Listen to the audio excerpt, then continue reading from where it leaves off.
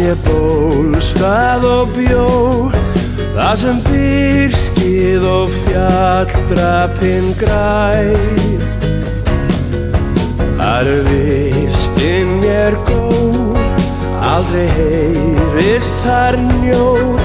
Þar er hímininn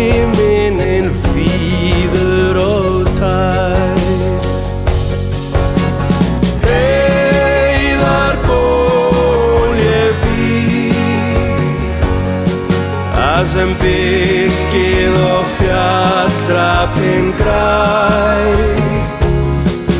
Þar er vistinn mér góð Aldrei heyrist þar njóð Þar er hímininn fýður og tæ Mörgin steinljóðu kvöld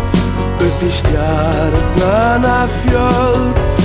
Hef ég starað með spyrjandi frá.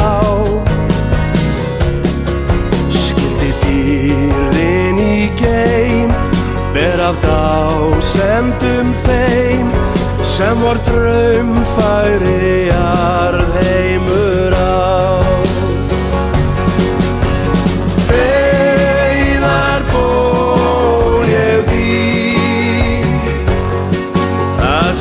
Fylgið og fjartrapinn